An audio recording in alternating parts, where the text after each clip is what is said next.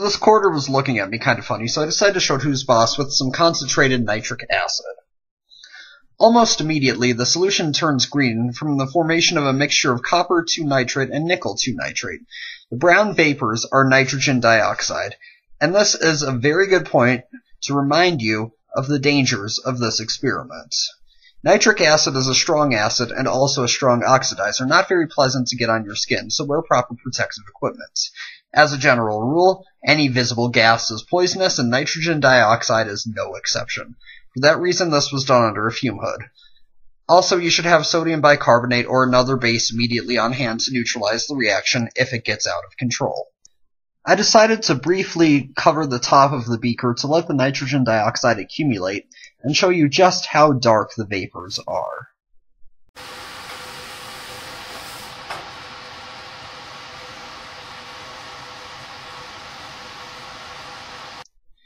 As the reaction slowed down, it turned a much deeper blue.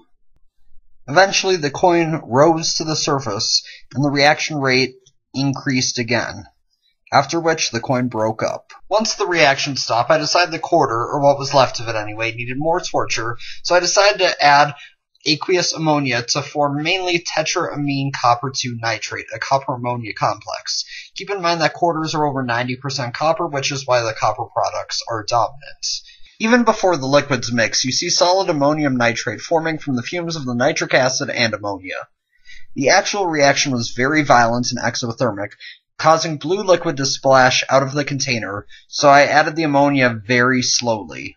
The turquoise precipitate you see forming is copper 2 hydroxide, which then reacts with ammonia to form the dark blue copper ammonia complex.